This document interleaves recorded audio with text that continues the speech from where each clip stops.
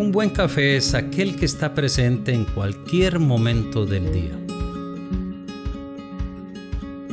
Quien complementa tus mañanas y te acompaña en noches de desvelo.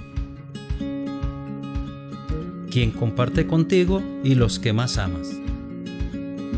Café Don Quincho, hecho con amor.